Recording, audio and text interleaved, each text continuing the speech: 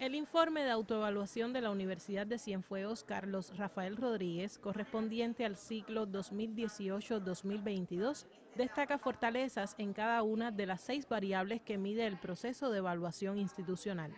Actualmente el 92,4% de las carreras acreditables están acreditadas y de ellas el 41,6% de excelencia, todos los programas de posgrado posible también están acreditados y el 53,8% de excelencia.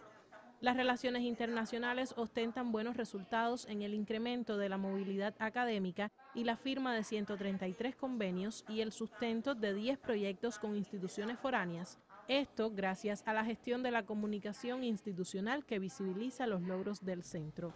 Según información publicada en Radio Ciudad del Mar, el Centro de Idiomas de la Casa de Altos Estudios, único de su tipo en el país, posee autoridad y prestigio para realizar el examen internacional TOLFEN, que mide las habilidades de los hablantes no nativos del inglés.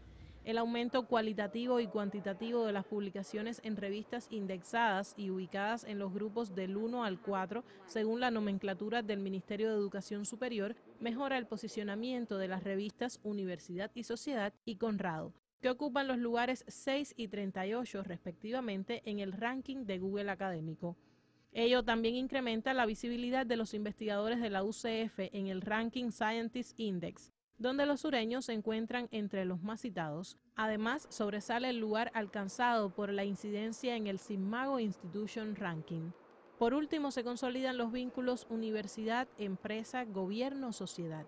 Existen 128 convenios vigentes con otros centros de la educación superior, organismos, proyectos de desarrollo local, direcciones municipales y provinciales en el territorio.